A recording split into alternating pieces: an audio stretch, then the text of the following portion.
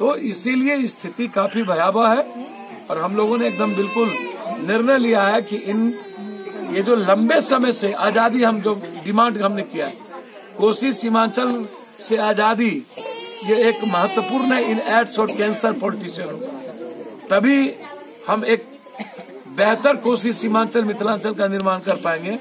ये जो सत्तर सालों से जो ये गंदी राजनीति, जो बेहतर हमारा यूथ चाहता क्या है समाज चाहता क्या है उस पर कोई बहस नहीं। तो इसीलिए एक बड़ी व्यापक लड़ाई है चुनाव की प्रक्रिया है। आपको जनता क्या को जो- लगता है सर बिहार में कितना समर्थन मिल रहा है जो आप बात कर रहे हैं? बिहार भैया देश में देखिए एक बात समझिए। चीज़ों को समझने की ज़रूरत।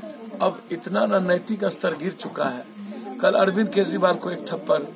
आप साजिश सस्ती लोकप्रियता के लिए इस कंट्री में एक संवैधानिक पदों पर मुख्यमंत्री बैठा हुआ। आप आप थप्पड़ मरवा रहे हैं। हैं? आप कह रहे हैं बयालीस जो एमएलए मेरे जेब में है कोई प्राइम मिनिस्टर इस तरह की बात करेगा? कोई कहता है कि आ, इसको गाली कोई उसको गाली ये जोगी किसी और को गाली ममता जी किसी और को गाली। आप इशू पर करते नहीं है। हालात जो है, एक दूसरे के गाली के अलावे बात क्या हो रही? ये जो इतना ये एक गिरिराज सिंह टाइप के लोग जो